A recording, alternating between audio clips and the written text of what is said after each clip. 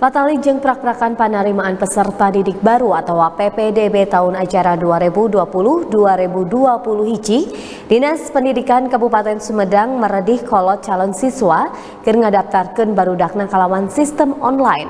Salah sahiji udah ganananya eta nyinglar sumebarna COVID-19 ku cara nyinglar reungan warga. Prak-prakan penerimaan peserta didik baru atau PPDB tahun ajaran 2020-2020 hiji di Kabupaten Sumedang dilakonan kalawan online. Kawasan Ukarandapan di SMP Negeri Hiji Kabupaten Sumedang. Prak-prakan pendaftaran kalawan online di Kokolaken kernyinglar riunganana warga anu ngadaptarkeun barudakna nalika PPDB tahun ajaran anyar.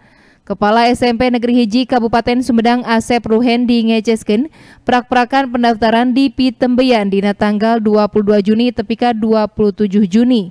Pihak sekolah nataharkan kuota meh 352 siswa dina tahun ajaran 2020-2020 hiji. Berdasarkan putusan dari Dinas Pendidikan Kabupaten Sumedang, itu pendaftaran dimulai dari tanggal 22 Juni sampai tanggal 27 Juni. Jadi untuk saat ini belum berlangsung pendaftaran, baru pendataan. Dimaksudkan untuk uh, se mengetahui seberapa besar se bukan seberapa besar seberapa banyak maksudnya siswa yang akan mendaftar ke SMP Negeri 1 Sumedang. Kuota yang disediakan sesuai dengan aturan bahwa kuota maksimal itu 11 kali 32. Jadi 11 rombel, tiap rombelnya itu 32 siswa. Jadi kuota yang disiapkan itu 352 siswa.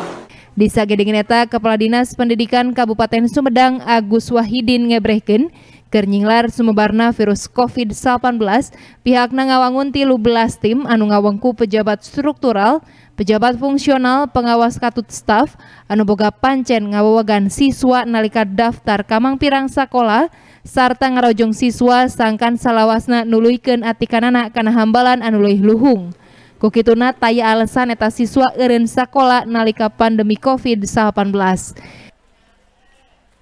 Dibuat 13 tim sehingga satu tim bertanggung jawab e, dua kecamatan. Karena di Kabupaten Sumedang ada 26 kecamatan. Jadi 13 tim ini dibuat untuk menyisir ya, untuk menyisir agar semua siswa lulus SD melanjutkan ke SMP atau ke sanawiyah atau ke yang lain yang sederajat. Jadi kita sisir semua. Di Sagedengen eta prak-prakan PPDB Hambalan TK, SD, SMP, SMA tur SMK nalika pandemi COVID-19, Dinas Pendidikan Kabupaten Sumedang tuhu karena Permendikbud nomor 44 tahun 2018. Diki Guntara, Bandung TV.